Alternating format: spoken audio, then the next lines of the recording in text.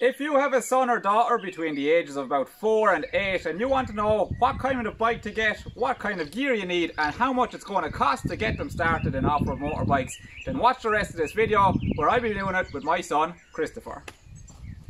Yeah! We use a Yamaha PW50 for Christopher. These are a bike that's been around since the 80s, so parts are really cheap and easy to come by. They use a 50cc two-stroke engine that I mix at 150 millilitres of two-stroke to 5 litres of petrol, and they also have a shaft drive for that extra bit of safety for Christopher so that if he falls off, he doesn't get his hand caught up in a chain. They also have an adjustable throttle position, which is adjusted through this screw here. So you screw it in so that there's less movement on the throttle, and you screw it out so that there's more movement on the throttle, as Christopher shows here, with it screwed in and with it screwed out. We're ready to go! But no, don't. You need your gear as well so that this doesn't happen. Christopher's goggles were brand new from the 100% brand and cost just 30 euro. He also has knee guards from Fox and again these are 30 euro and offer good protection from the top of the kneecap all the way down along the shin to try and give as much protection as we can for our children. This is last year answer gear that we got at a discounted rate of 60 euro for the pants and jersey. It's important to get the right protective gears. The jersey is airy to keep your child cool on a hot day, but the pants are rugged and durable in the case of a fall.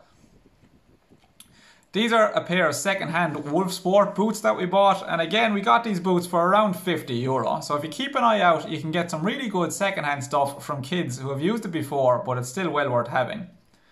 This is a Leatt brace and this is something again that we bought second hand and I'm really happy we did. It came in around 120 euro I think for the second hand garment but you can see it offers a lot of protection and we'll go through that a bit further. The helmet we did buy brand new. This is a Fox V1 helmet that we got for around 138 euro I think it was. Again it offers the same protection as what you can have in an adult helmet.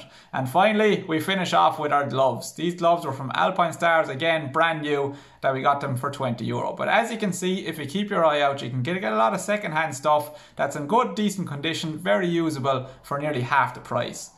Again here, let's just take a look around at the gear that Christopher is wearing. I really like this Leatt uh, brace. It's got the neck brace built in. I have another video on why I think neck braces are good. I can leave a link down below. And again, it offers good protection in around the side, in around the kidneys in the event of a fall, and on the back as well. You want to keep your child as protected as you can. So the total we spent on our gear then was 450 euros and you can buy these PW50s secondhand from anywhere for about 500 to 1200 euros. To be baby!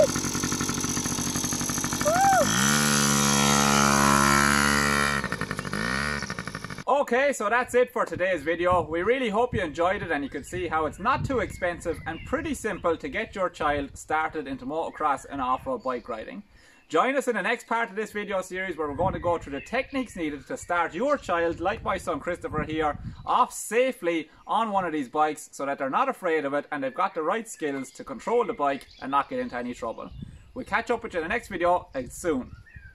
Motoklik is an electronic device used to automate suspension setup for off-road motorbikes.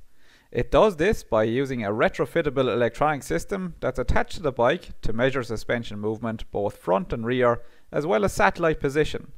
This information is then sent to you in the smartphone on your suspension's performance and you can use this then to adjust the suspension clickers for the current track conditions and your riding style. Motoklik also has any location lap timing made possible through the satellite data that's gathered through the app. If you want your own Motoklik, then be sure to subscribe to the Motoklik email newsletter at motoklik.com.